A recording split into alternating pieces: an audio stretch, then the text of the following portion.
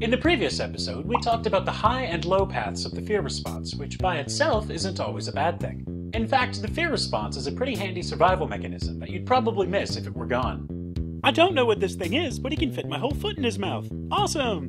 Rest in peace, guy being eaten by a puma. But fear can easily make a person's life worse in a variety of not at all fruity flavors. Phobias and anxiety both stem from the overactivation of the fear response. And yes, in some circumstances, it is possible to literally be scared to death, which is one definition of an unhealthy response. Allow me to explain.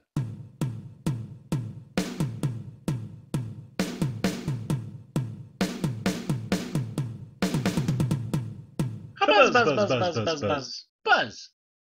First of all, I'm not the sort of guy who diagnoses or treats mental health issues. I'm the sort of guy who talks to puppets. Achoo! Gesundheit. Mm-hmm. As always, if you're looking for a consultant on your health, ask a health professional. Some fears seem to be more natural and universal, such as the fear of height or the fear of darkness. But thanks to what might be the world's worst superpower, people can also add fears to their repertoire through learning. The difference between a fear and a phobia is that a recurring fear becomes a phobia when a person's life is made significantly worse by its existence. I would be afraid to share a pool with an angry shark, but my day to day life is not held back by that fear. But if you're, say, a rodeo clown that's afraid of barrels, that would certainly interfere with your life and could be called a phobia. Jump in the barrel, Jimmy. He's right behind you. No thanks. I'll take my chances with the bull. Rest in peace, Jimmy, gored by bull. Another important feature of phobias is that they are irrational.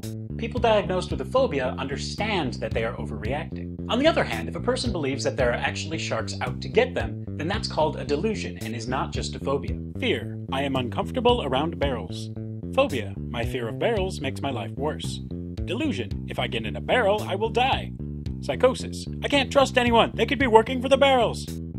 This irrational overreaction is explained when you look at the low path that the fear reaction takes through the brain. It's fast, nearly automatic, and it doesn't pass through any conscious parts of the brain. Your phobic reaction happens before you even realize it. And this reaction is so strong, it can be difficult to overcome even once the rational parts of your brain do start to kick in. Many phobias appear to have a clear cut relationship between a traumatic event and the phobia thanks to classical conditioning. Something bad happened and you now associate some aspect of that event with fear. For instance, if you were in a car accident and now fear driving. But sometimes the cause isn't so certain. You can learn to be afraid of anything. It doesn't even have to be a thing. For example, when I was a kid, I used to fear cotton balls. I never figured out why, but I used to be really uncomfortable around them. Long story short, that's actually how I got elected to my middle school student council. Kids love weird things. Studies do seem to show that you are more likely to develop a fear around certain things. For example, in one study, monkeys learned to fear snakes much faster than they learned to fear flowers. I don't know why, flowers are terrifying. Oh man, not again. Rest in peace, guy squished by flower.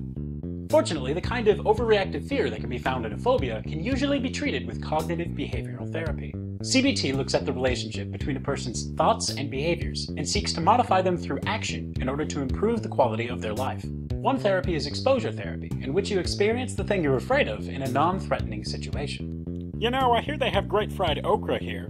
Eh, I'm more into smelling blood and swimming towards it. Oh, well, you gotta have hobbies. Rest in peace, guy who choked on okra because sharks don't know the Heimlich.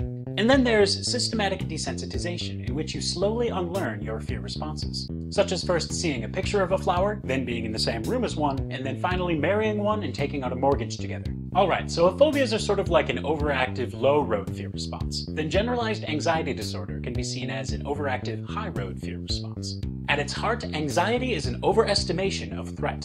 Generalized anxiety disorder, or GAD, occurs when worrying takes over a significant enough portion of your life that it negatively impacts you. But anxiety isn't just psychological. There are many physical symptoms that enter the mix too. These symptoms stem from the activation of the fight or flight response at unwanted times. I'll let this handsome gentleman explain those. It's the heart racing, tense muscles, adrenaline pumping, wide eyed, palms are sweaty reaction that we're all familiar with. And behind the scenes, your digestion and immune systems slow down. That last part is especially problematic. In order for your body to conserve energy in order to run away or fight off an attacker, your body slows down your immune system and your digestive system when you feel threatened.